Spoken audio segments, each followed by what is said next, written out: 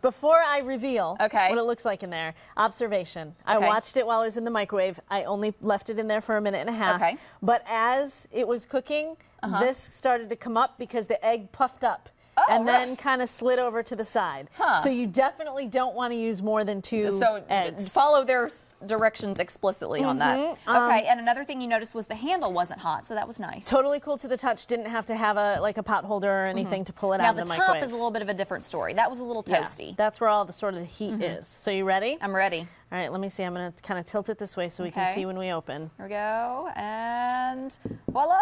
Oh, that doesn't look so bad. It doesn't look so bad. It doesn't look so delicious, but it doesn't look so bad. Everything kind of flopped over, and there's a little bit of runniness going on around the side. Yeah. I'm not picky though. I could have left it probably another few another few seconds. seconds. But it looked done in the middle and I didn't want it to get tough in the middle. Right. So All right. maybe eat from the middle.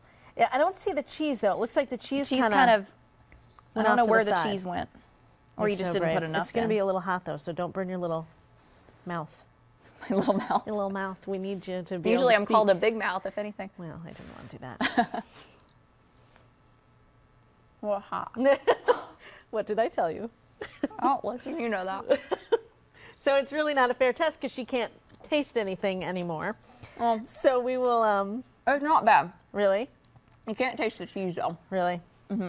I could, But it's I, could have used more cheese, but it didn't say like overload it with cheese. But that's how you should treat everything. Always overload with cheese. That's true. It's not bad. But it's good.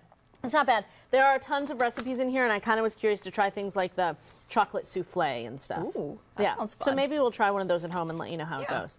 It's okay. Yeah. Oh, it's not, you know, 10 bucks. Not bad. Yeah, it works. We'll be right back.